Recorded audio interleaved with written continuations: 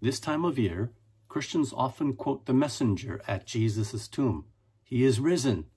And then people respond, He is risen indeed. But that English translation is not so accurate and could be deceiving. The declaration is not about what Jesus did to himself, but about what someone else did to him. In the New Testament Greek, the verb is passive. Jesus was acted upon. A more accurate translation would be, He has been raised, or simply, He was raised. That is, someone else raised Jesus. Tens of times the Bible declares that someone else raised Jesus from the dead, like Peter in Acts chapter 5 verse 30. The God of our fathers raised Jesus. For more information, see the lecture linked below called He Has Been Raised.